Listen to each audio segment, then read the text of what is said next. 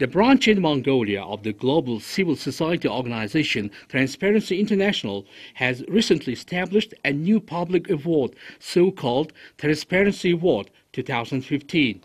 This international organization with head office in Berlin, Germany, is leading the fight against corruption.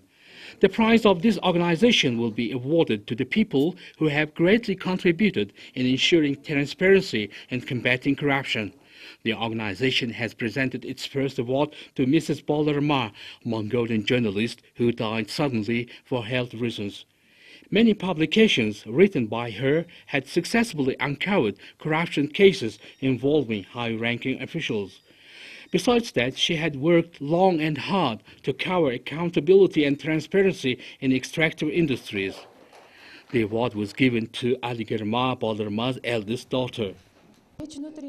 My mother had worked hard in order to develop journalism devoted to all aspects of mining and economy, and to make this kind of journalism independent from politics and business.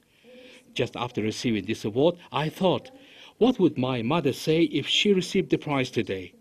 I think that she would be very glad for establishing this award.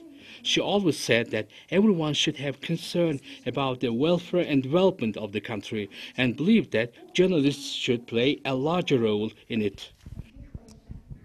The award established by the organization Transparency International Mongolia will be presented to those who is fighting consistently against corruption. The first award was given according to the survey conducted among the public through social networking sites and social media.